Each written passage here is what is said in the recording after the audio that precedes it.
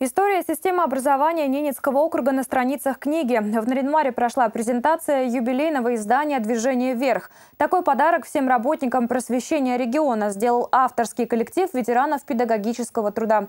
На презентации побывала наша съемочная группа.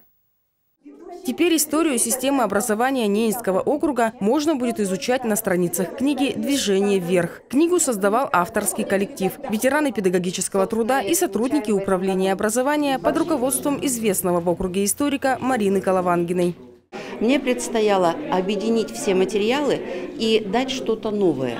А новым оказывается глава, например, посвященная военной страничке история образования. Ранее мы никогда эту тему не поднимали, сейчас она э, представлена и зазвучит по-новому.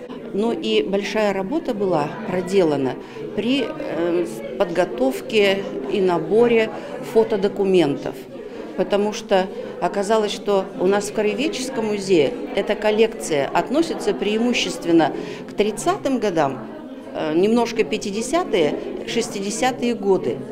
А вот последующий период и так, чтобы найти не статичные фотографии, они скучноваты, честно говоря.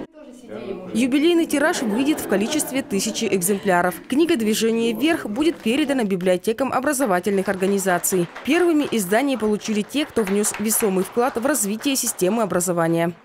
Кто стоял во главе нашего управления образования в определенные периоды в определенные годы. Также мы пригласили э, учителей, которые внесли определенный вклад в развитие системы образования, и э, руководителей образовательных организаций. Также ветеранам педагогического труда на презентации книги вручили юбилейную медаль «90-летия НАО». Александра Литкова, Любовь Пермякова, Леонид Шишилов, телеканал «Север».